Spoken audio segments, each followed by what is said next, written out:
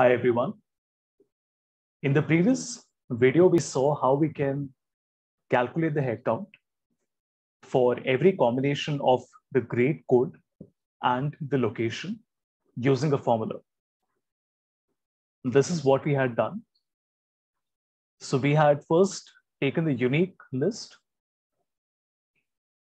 And then I also showed you how to take the unique after combining column C and column D. Then we split it and then we did a COUNTIF.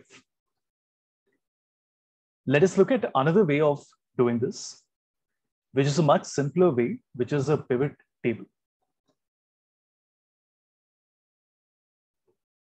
I will go to insert, select a pivot table and click on OK.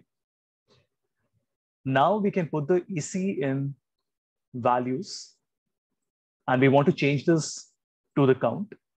So right click and then summarize values as count.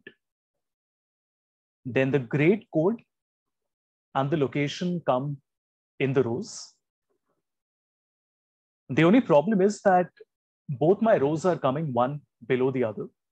So we can go to design and in report layout, I will select show in tabular form.